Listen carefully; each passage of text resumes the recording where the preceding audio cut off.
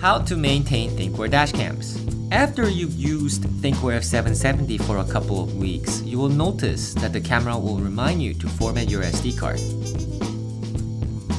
The micro SD card is the most common area of failure with dashcams, and regularly formatting is a key step to ensuring your dashcam performs optimally. With the F770, it's easy as there is a dedicated format button that you can hold down to format the card.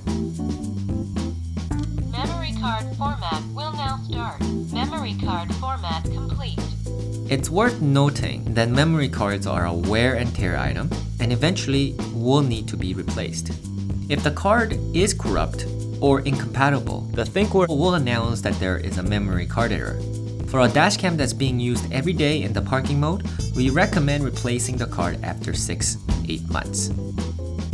Another thing users can do to maintain their camera is to update the safety camera database every few months as new versions are released. To do so, go to support section of the ThinkWare website and download the latest version of your region.